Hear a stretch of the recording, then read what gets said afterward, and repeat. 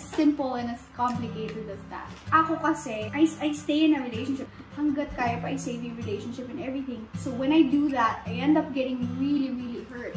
So ngayon, after getting out of that relationship, ay nako, broken-hearted ako and I'm careful with my heart.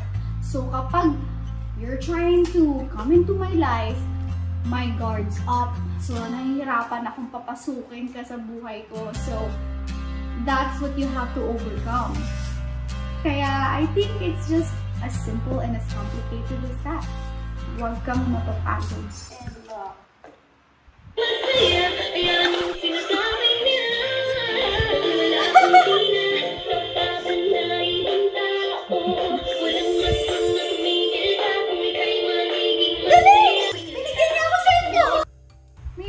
Siya dito.